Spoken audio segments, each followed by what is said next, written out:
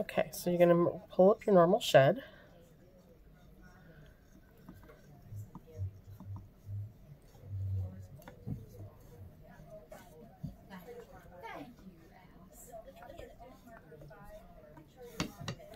Open it up.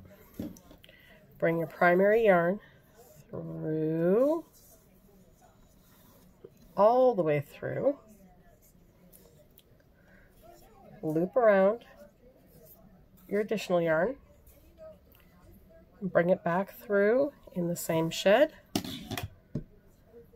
adjusting where you want your clasp point to be, and I'm going right to the middle there. And then you just pack it down and continue.